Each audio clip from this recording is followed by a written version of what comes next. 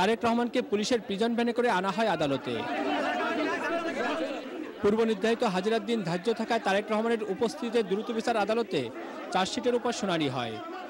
আদালতে জিআরও এই মামলার চার্জশিটের নথি উপস্থাপন করে তা গ্রহণ করার আবেদন জানান। একই সঙ্গে মামলার অপর পলাতক আসামি তারেক রহমানের এপিএস ম্যান রুদ্দিন অপুর বিরুদ্ধে গ্রেপ্তারি পরোয়ানা ও মালামাল ক্রোক করার আবেদন জানানো হয়। দ্রুত বিচার আদালতের ম্যাজিস্ট্রেট আব্দুর রব খান চার্জশিট গ্রহণ করে পলাতক আসামি অপুর বিরুদ্ধে গ্রেপ্তারি পরোয়ানা ও তার সম্পত্তি ক্রোক করার আদেশ দেন সংশ্লিষ্ট কর্তৃপক্ষকে। একই সঙ্গে ক্রোক সংক্রান্ত রিপোর্ট আগামী উনত্রিশ মার্চ আদালতে দাখিলের দিন ধার্য করেন। আদালত আজকে চার্জশিট গ্রহণ করেছেন এবং একজন আসামি বিরোধীন অবু পলাতক থাকার কারণে আগামী উনত্রিশ দিন দুই হাজার সাত তারিখে ওই আসামির জন্য ডব্লিউপিএনডির জন্য দিন ধার্য করেছেন। এর আগে গত আঠারো মার্চ চাঁদাবাজির মামলায় তারেক রহমান ও তার এপিএস মেয়ার নুরুদ্দিন অপুকে অভিযুক্ত করে আদালতে চার্জশিট দেয় তদন্তকারী কর্মকর্তা। পর্যাপ্ত সাক্ষ্য প্রমাণের ভিত্তিতে চার্জশিট দেওয়া হয় বলে তদন্ত সূত্রে জানা গেছে। মামলার বাদীসহ বারো জনকে সাক্ষী করা হয় এই মামলায়।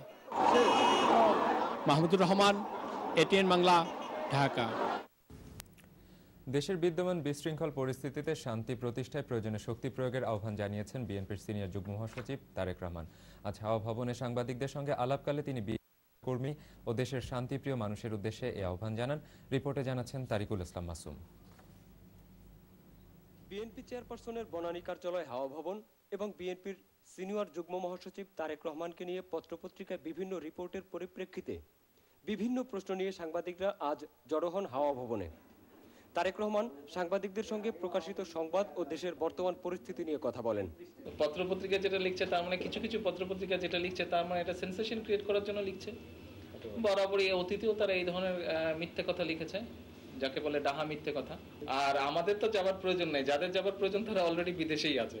দেশের মানুষ জানে কারা বিদেশে আছে। গত দুই, তিন দিন যাবত যে বিভিন্ন জায়গায় তারা নৈরাজ্য করছে বা করার চেষ্টা করছে, কোথায় কোথায় আমাদের দলের নেতাকর্মীদের উপরে তারা নৈরাজ্য করেছে বা জনগণের বলেন, আমাদের নেতাকর্মীদের সম্পত্তি নষ্ট করছে, সেগুলোর হিসাব নিকাশ আমরা নিচ্ছি। কালকে আমাদের নেত্রী বলে দিয়েছেন যে সেই জবাব দিতে হবে, আমরা সময় মতন সেই জবাব তাদেরকে দিব। সেটার প্রস্তুতি নিয়েছি। বিএনপির রাজনৈতিক প্রতিপক্ষ দলগুলোর নৈরাজ্যকর কর্মকাণ্ড ধৈর্যের সঙ্গে মোকাবেলা করার কথা বলে তারেক রহমান মন্তব্য করেন। ধৈর্যেরও সীমা আছে।